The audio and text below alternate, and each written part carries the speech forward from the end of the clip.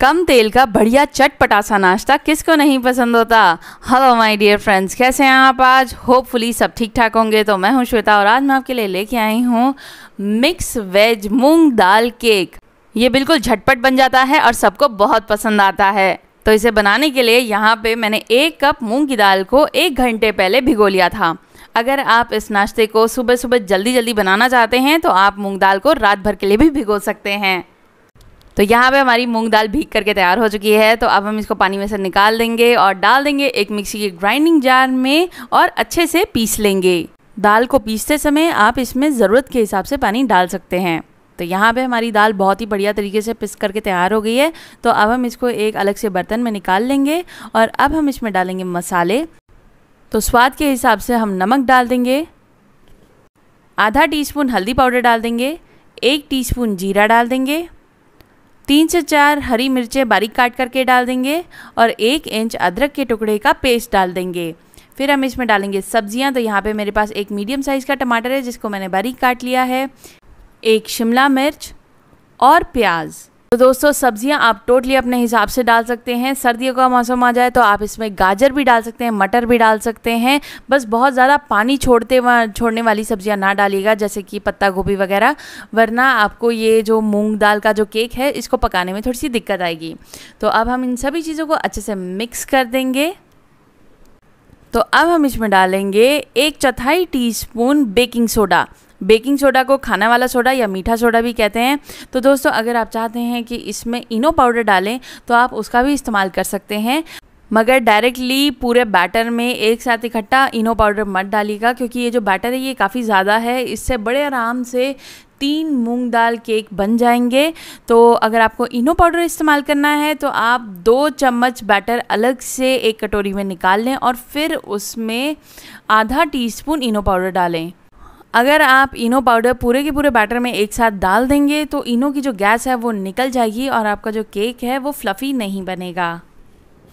तो इस मूंग दाल के केक को बनाने के लिए यहाँ पे मैंने एक नॉन स्टिक कढ़ाई ले ली है और अब हम फ्लेम को कर देंगे मीडियम पे ऑन और इस कढ़ाई में डाल देंगे तीन से चार टीस्पून ऑयल ऑयल को इस तरीके से अच्छे से फैला देंगे कढ़ाई में।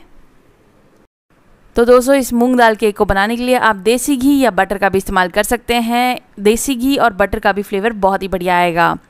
तो जब हमारा ऑयल हल्का सा गर्म हो जाएगा, तब हम इसमें दो से तीन चम्मच बैटर डाल देंगे, उसे अच्छे से फैला देंगे और अब हम इसको ढक करके मीडियम फ्लेम पे ही दो से तीन मिनट तक पक या फिर तब तक, जब तक इसकी ऊपर वाली सतह का रंग नहीं चेंज हो जाता और ये ऊपर से हल्की सी सेट नहीं हो जाती। तो दोस्तों फ्लेम को हम पूरे टाइम मीडियम से लो पे ही रखेंगे ताकि ये अंदर से एकदम परफेक्टली पक जाए। तो यहाँ पे दो से तीन मिनट हो चुके हैं और आप देख सकते हैं ऊपर से जो लेयर है हमारी, ये सेट सी लग रही है और ये नीचे से भी अच्छा गोल्डन हो गया है। तो अब हम इसको पलट देते हैं। आप देख सकते हैं, बहुत ही ईजीली ये उठ जा रहा है और ये देखिए बिल्कुल परफेक्टली आप इसको बहुत ही आसानी से पलट सकते हैं। और अब हम फिर से इसको ढक करके दो से तीन मिनट के लिए मीडियम फ्लेम पे ही पका लेंगे। तो यहाँ पे दो से तीन मिनट हो चुके हैं और हमारा मूंग दाल केक बहुत ही परफेक्टली सिक करके तैयार हो गया है। तो अब मैं आपको इसको पलट के भी दिखा देती हूँ कि ये दूसरी साइड से भी बहुत ही बढ़िया और करारा सिक करके आया है। ये दोनों ही तरफ़ से बहुत ही अच्छा करारा हो जाता है और अंदर से सॉफ्ट रहता है। तो अब हम इसके ऊपर हल्का सा बटर लगा देंगे। ये टोटली ऑप्शनल है, मगर अगर आप बटर लगा देंगे तो इसका टेस्ट और भी ज़्यादा बढ़ जाएगा। तो अब हम इसको निकाल लेंगे और सर्व कर देंगे। तो दोस्तों, अभी रेसिपी ख़त्म नहीं हुई है, अभी एक स्टेप और बाकी है। तो लग रहा है ना दोस्तों, ये बिल्कुल केक जैसा ही। तो अब मैं आपको इसको कट करके दिखा देती हूँ कि ये अंदर से कितना सॉफ्ट है और बाहर से एकदम से क्रंची है। इसका टेक्सचर इस चीज़ को बिल्कुल अलग बनाता है। इसलिए मैंने इसका नाम मिक्स वेज मूंग दाल केक रखा। अगर आपके मन में कोई और नाम हो तो मुझे ज़रूर कमेंट करके बताइएगा। यहाँ पे आप देख सकते हैं, ये कितना बढ़िया और सॉफ्ट बनाया है अंदर से। और अंदर से ये जो वेजीज़ हैं, ये तो इसके टेस्ट को नेक्स्ट लेवल पे ही ले जाती हैं। तो जब आप सर्व करें तो ऊपर से हल्का सा चीज़ या पनीर इस तरीके से ग्रेट ज़रूर कर दीजिएगा। सर्व करने में भी अच्छा लगता है और खाने में और भी मज़ा आता है। तो दोस्तों, ये हमारा मिक्स वेज मूंग दाल केक अच्छा खासा चटपटा बनता है तो इसके साथ अगर आप कोई चटनी ना भी बनाएँ, केवल टमेटो केचप के साथ भी सर्व कर दे तो भी बढ़िया लगता है।